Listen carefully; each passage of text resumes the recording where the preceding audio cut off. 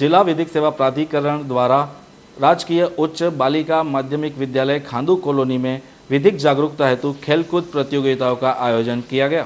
शुभारंभ DJ full Singh Tomar के कर कमलों द्वारा संपन्न हुआ। जिला विधिक सेवा प्राधिकरण व शिक्षा विभाग के संयुक्त तत्वावधान में इंटर स्कूल खेलकूद प्रतियोगिताओं का शुभारंभ शुक्रवार को बालिका उच्च माध्यमिक विद्यालय खांदू कॉलोनी में हुआ। राजकीय उच्च माध्यमिक विद्यालय वीरपुर के नीलेश नीनामा ने 400 मीटर की दौड़ को अट्ठावन सेकंड में पार करके सबको चौंका दिया। दूसरे स्थान पर राजकीय नगर उच्च माध्यमिक विद्यालय के विनोद नीनामा ने एक मिनट और एक सेकेंड और तीसरे नंबर पर दीपक बाथम ने एक मिनट तीन सेकंड का समय लिया।